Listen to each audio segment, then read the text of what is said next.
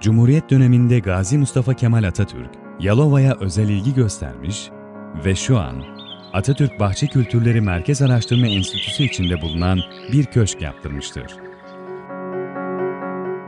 Yürüyen köşk olarak bilinen yapının hikayesi ilginçtir.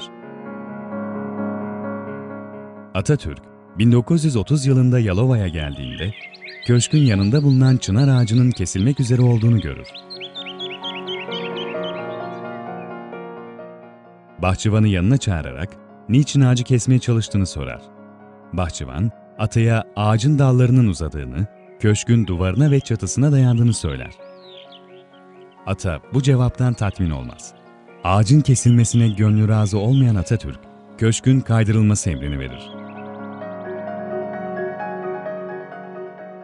Ve 8 Ağustos 1930 tarihinde bina, çevresi büyük bir dikkatle temele kadar kazılır.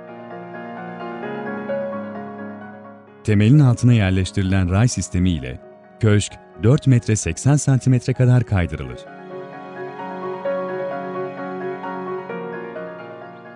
Ve Ulu Çınar kesilmekten kurtulur.